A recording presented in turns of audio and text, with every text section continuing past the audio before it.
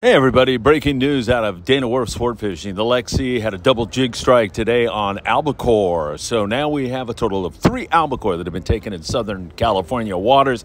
This is really exciting news. A couple days ago, the Aztec had the first albacore of the year, and now the Lexi.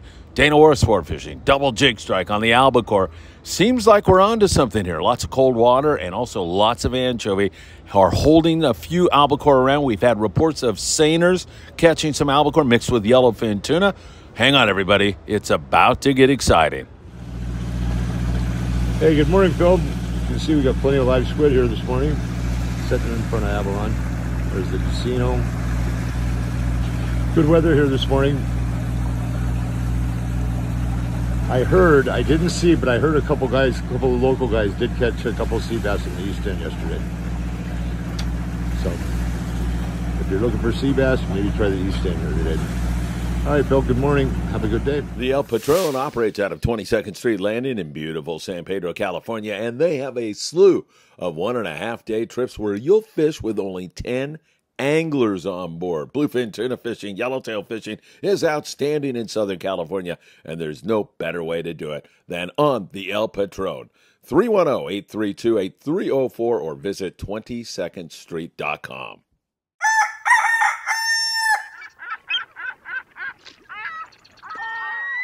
Hey, good morning, my dear friends, and welcome to a beautiful Saturday morning here in Southern California. I'm in Surfside, California, and man, it couldn't be any more lovely than it is. There's virtually no wind. The ocean looks to be flat calm. What a beautiful moonlight night it was last night. I came strolling in here about one o'clock in the morning or so, and now up for you for the morning briefing. And there's a lot to cover. More albacore in Southern California. What does it mean?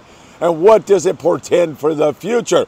We'll delve into that a little bit. Our bluefin tuna bite kind of took a powder on us. I mean, some guys really conked him, but there was a lot of slow scores. We'll talk about that. We'll go south of the border. We'll head up to the Channel Islands. There's live squid available at Catalina Island for the time being. You saw the lead in. Make sure you call Captain Pat Whitaker on the manana before you head to him. He's at the west, or pardon me, the east end of Catalina Island this morning. You know what time it is, everybody. It's time for the morning briefing. Oh, what a delicious cup of water. Man, it was so good to see so many of you at the Orange County Fair last night. Baja Blues, Carlos and his lovely family. Carlos, thank you so much for coming by. We were slammed. Sorry I didn't get to spend a little bit more time with you as I would have loved to. Boy, there's a lot going on, but first of all, on the lead in, you saw the El Patron. She runs out of 22nd Street Landing in beautiful San Pedro, California. She's going tonight on a trip. Call 22nd Street if you'd like to get on board the El Patron. 310 832 8304. Tomorrow, it's Kids Fish Free Day on board the Californian out of Ventura Harbor Sport Fishing, paid adult. Kids 12 and under go for free. Great fishing up there right now. Bass and barracuda, bonita, and Always a lot of rockfish up there. 805 676 3474. So you can join the great folks there at Ventura Harbor Sport Fishing. All right, let's get into it with you. And let's talk about that albacore catch yesterday, the Lexi. Dana Wharf Sport Fishing, a double jig strike on some nice long fin, as you can see right there. Couple more albacore. That is three so far this season. It is far from an albacore run. That's really what I predicted. I predicted that we'd catch several hundred albacore. At least that was what I was driving at with all of you. So it's great to see this. It gives me high hopes that we could still pull this off. But what we've got is this really oceanographical battle starting to take place now with El Nino shoving in more warm water. And You're going to see more tropical fish as days go on. But El Nino is starting to shove in more warm water, and albacore don't like that.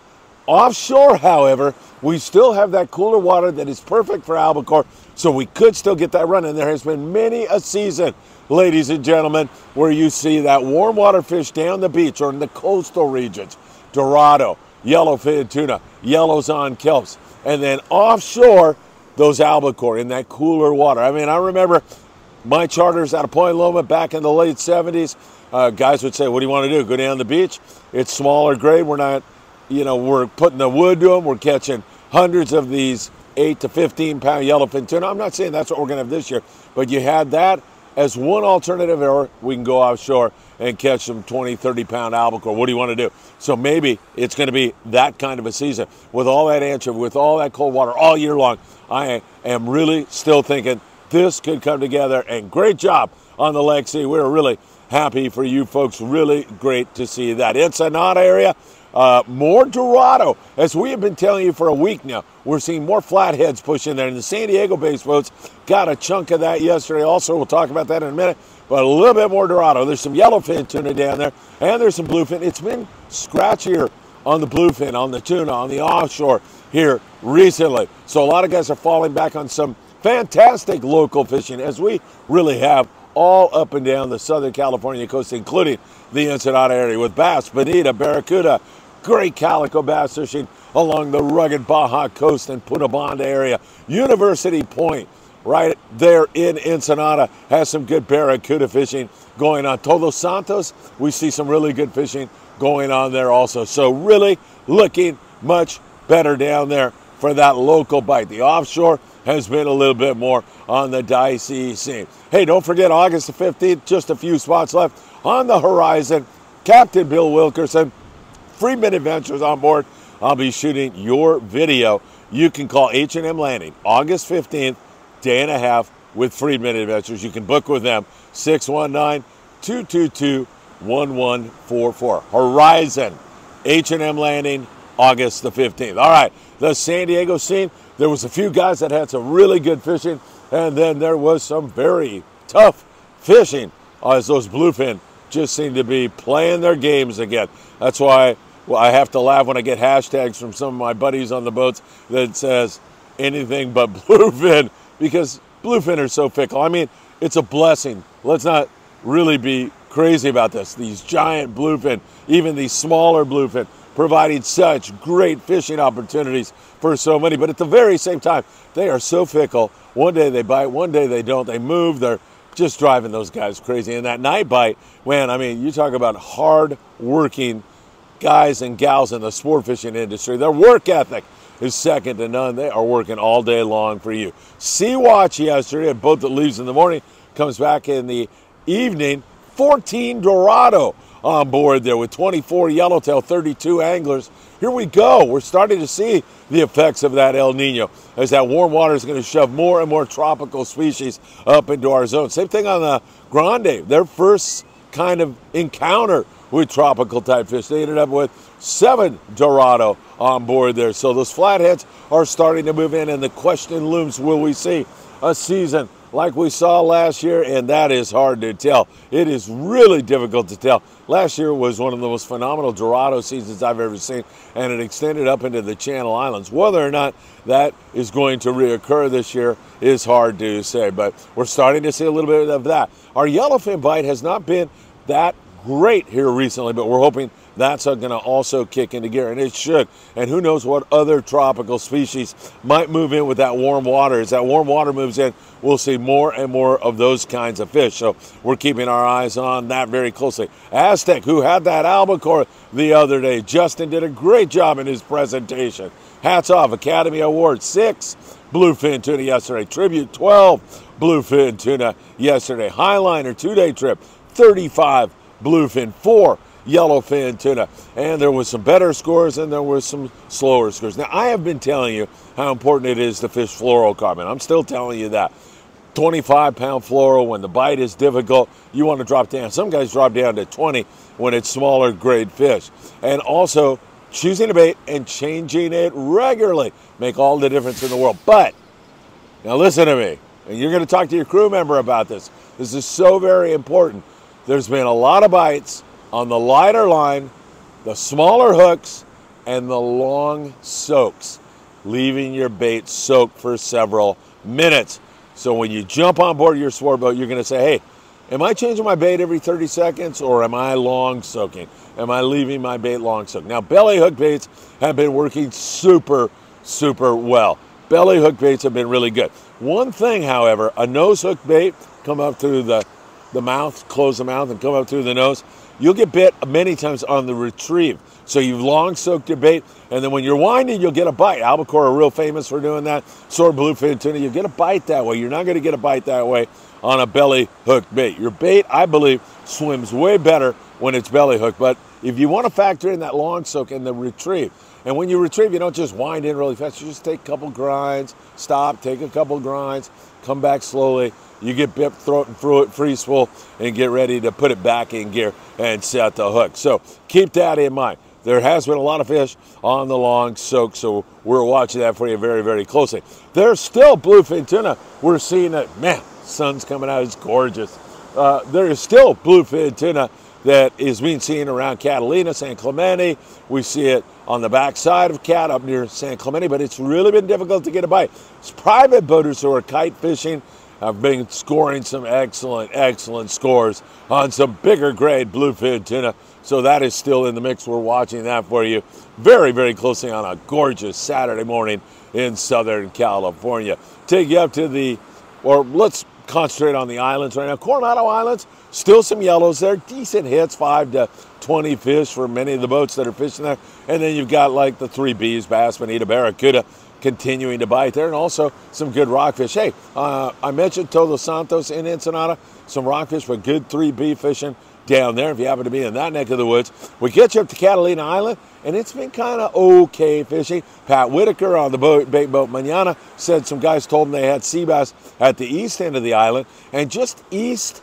of the east end is a bank called the 277. A Seiner made a set on yellowfin there a few days ago, and had pretty good YFT. He may have wiped it out, may have mopped it all up, but it's definitely worth taking a look at. And anywhere you can find some warm water, you know, you're going to want to look at those kelps because we're going to start to see those flatheads, those Dorado and yellows move in in mass. So keep that in mind. It would really behoove you to keep an eye on that. Clemente, lots of sea lions, some yellows out there, but it's tough to get them past the sea lions. And then our Channel Islands, Great fishing up there for rockfish, and but they also have good calico bass fishing. It's been a great year for calico bass, and there's bluefin up there. Some private boaters behind the islands have been conking the BFT up there in that neck of the woods. So if you have that kind of gear, like two-speed reels, I definitely bring it. And those smaller jigs, like a Daiwa Sakana 100 to 130 grams, have also been super, super effective. Don't forget that. That makes all the difference in the world of your success. I wouldn't fish those jigs with anything less than 60 pound. I like heavy, heavy as you can go. If you can get a bite on it, you want to have heavy just in case you hook that dream fish of yours. We've got to talk local fishing because it's off the hook. We talked about it in Ensenada, but San Diego, wow, great fishing for calico bass for several of the boys down there. It's been a phenomenal local season for San Diego based boats. Calico bass continuing to bite down there. The Dolphin, as an example, released hundreds of calico bass, or over 100, I should say. Had 85 keepers, a yellowtail, 15 sand bass, but a ton of releases. So we are definitely seeing a lot of bass and really good fishing. Dana Wharf Sport Fishing, lots of bass up there in that neck of the woods, releasing a lot keeping some. It's up to you, whatever you want to do, and they can always fall back on some other rockfish and that kind of thing. But really, the name of the game right now has been this local sand bass and barracuda bite, as it has been absolutely phenomenal. Great fishing. Surface iron on the barracuda. That's been a great way to go. Color, I believe, is irrelevant. Not really all that important blue and white. A lot of guys like throwing that mint color. There's been a lot of barracuda. There's been a lot of sand bass whiting. Let me go through some scores because I haven't seen this for so many years, and it's so great to see it doing again. Western Pride in the morning, 42 guys, 210 on the sand bass. Everybody getting some barracuda. Also, Enterprise, 55 guys yesterday, a buck 77 on the barracuda, 204 sand bass, 49 calico bass. How can you beat that? Monte Carlo in the morning, he ended up with 42 guys catching 107 sand bass. The native son, 37 guys with well over 100 barracuda, well over 100 sand bass. Redondo Special up there in the Santa Monica Bay, he had a white sea bass and 70 calico bass. Wow, Marina Del Rey getting in on this. They've got plenty of rockfish. They're also catching an occasional white sea bass as they did yesterday. Really great fishing going on right now. And remember, you can get a bite when you're fishing bass, sand bass, or calico bass, the way to do it is drop that line down. And I'm talking down to 12 pounds. You're fishing 12 pounds, you're bit all day long. You are slamming the fish. Use fluorocarbon, choose a good hot bait, drop that line down, and that is such a fabulous way to make things happen. Keep that in mind. Aloha Spirit yesterday with 28 sand bass, 32 calico bass, 8 barracuda, tons of rockfish. Island Spirit out there out of Ventura Harbor sport fishing has been doing really, really well. If you're on an extended trip out of the Channel Islands, you might well fish bluefin tuna. So that is also another opportunity available for you all. Really, some tremendous opportunities going on. Right, September 15th. September 15th down. We're going to have a 6 a.m. to 6 p.m. trip on the El Patron. If you want to get on that trip, I will have information for you here in the next 48 hours how you can book on that trip. That's going to be a fun one. Friedman Adventures trip. I'll be there to shoot the video of your lifetime. Who knows what will be happening by September the 15th? I assume there's going to be some offshore opportunities. Could be just good local fishing. It's hard to tell right now, but it's going to be fun. I'll guarantee you that. So mark that down. September the 15th on board the El Patron 22nd Street Landing, leaving at 6 a.m., back at 6 p.m. I don't know what to tell you. It is freaking gorgeous here. Guys are surfing, people are running on the beach. It's a lovely morning, and it's always great for me to spend time with all of you. Some great stuff. Will there be more albacore today? We'll be watching that for you very, very closely. And of course, I can't thank you enough as today we should get to 10,000 subscribers. That happened awful fast, and that happened all because of you sharing videos, liking videos, subscribing to the channel, ticking the bell so you're notified when there's new content. I sincerely can't thank you enough. Hey, man, this is so nice. It's beautiful. You ought to come down here, do some surf fishing today. Have a great day. Always great to start my mornings off with you. And I hope to see you really, really soon. Take care, my friends.